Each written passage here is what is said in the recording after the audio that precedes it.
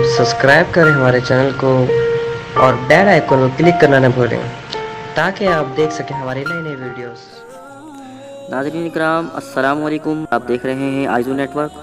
आज के इस खास वीडियो में हम बात करेंगे पानीपत में तकरीबन पिछले 35 दिन से क्वारंटीन तबलीगी जमात की। जी हाँ कुल पाँच जमातों को क्वारंटीन किया गया था, जिनमें एक जमात मुंबई की है, एक कानपुर की है, दो असम की है और एक तमिलनाडु की है।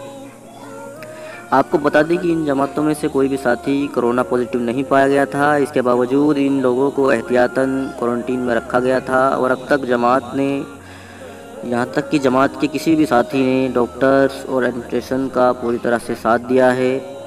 आज 6 मई 2020 को असम की दोनों जमातों को वापस उनके घर भेजा जा रहा है। इसमें कुल 22 साथी हैं। बाकी जमातों को भी इन जल्द भेजा जाएगा, क्योंकि बहुत लंबे वक्त के बाद साथी अपने घर जा रहे हैं। इसके लिए मौका, उनके लिए बहुत ही खुशी का है। और साथ ही खुशी का मौका है हमारे पानीपत के साथियों के लिए, जिन्होंने उनकी खिदमत में हर चंद कोशिश की। अल्लाह उनकी खिदमतों को बेहद कबूल फरमाए। तो आइए देखते हैं वो खूबसूरत नज़ारा। और अगर आपको पसंद आए तो वीडियो को लाइक और शेयर ज़रूर कर दीजिएगा। और चैनल को सब्सक्राइब करना मत भूलिएगा। चलिए शुरू करते हैं।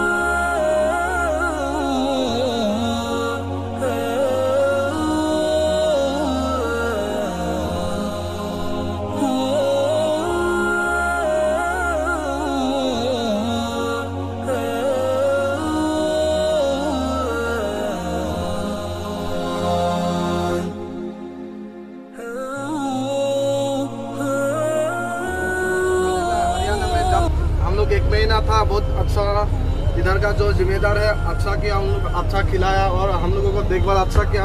और जो पुलिस प्रशासन है, वो भी बहुत अच्छा हम लोगों को हेल्प किया है।